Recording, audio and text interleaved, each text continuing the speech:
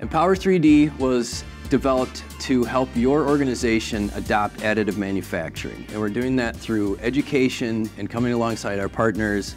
Most important things about Empower 3D is we use what we have to solve problems. We can do everything from the material development, if you need a new material, to design work, to printing, with everything in between. We can do 3D scanning, we have so much to offer. We have a Mosaic Element HT. The Mosaic Element has a lot of customization. All of that helps us develop materials. The First thing that pops to my mind about how Element stands out is the cohesive uh, design of the printer and interface.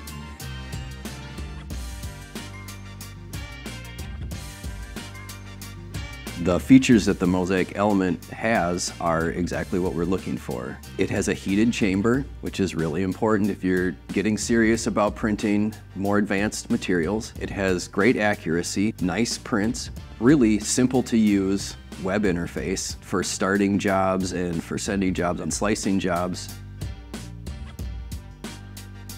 I like Canvas because it's simple and straightforward to use. It was really easy to learn. I really like how easy it is to start a job and watch it with the, the onboard camera. It's one of my favorite parts about it is I can work from my laptop in a meeting and send a print and it'll send it right to the printer and it's, it's great to have that option. We're still using it to test. Um, I was getting ready to start a print, but earlier in the day I had run our material through it just to see how fast it, it actually takes to run new material through it.